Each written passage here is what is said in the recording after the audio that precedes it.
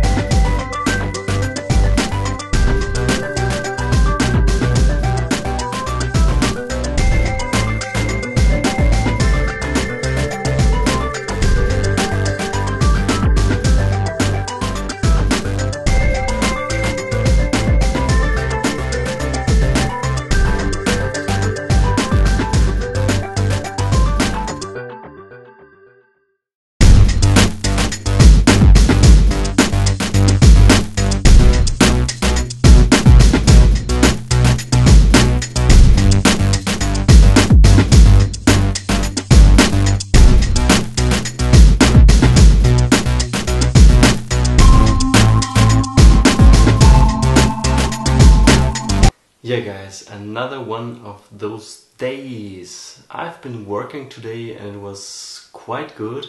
Quite good. I was working in a school in Zams, which is look it up on the map where Zams is. It's right in the Alps and it's a very beautiful scenery. Austria is indeed a very beautiful country. And the work was good, I would say. I mean, I have the feeling that I'm getting some, yeah, sort of tired by this work. I would really love to do different work. The problem is, I'm good in this work. I've been doing it now for four years and I'm good at it. So people listen what I say. It's a good presentation. The teachers really like the presentation for the students, I think it is interesting.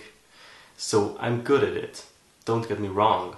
But it's just for me no thing to develop anymore. And I don't know how to develop there. So that's the problem a little bit with this job at the moment. And then the thing that you are again sitting somewhere else, going to work, then tired in the evening and Okay guys, I have a serious issue now. Look at this. Movie-Aufnahme wurde automatisch angehalten.